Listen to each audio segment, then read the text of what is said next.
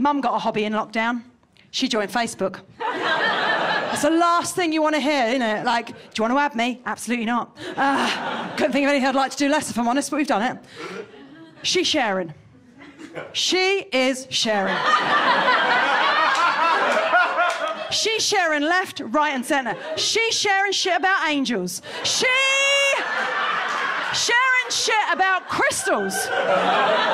She's sharing shit about horoscopes, okay? A little while ago, she shared a picture of a dog that was lost. The dog was lost in Texas, okay? She lives in Portsmouth, right? One of her friends had written underneath, I'll keep my eye out. I thought, what?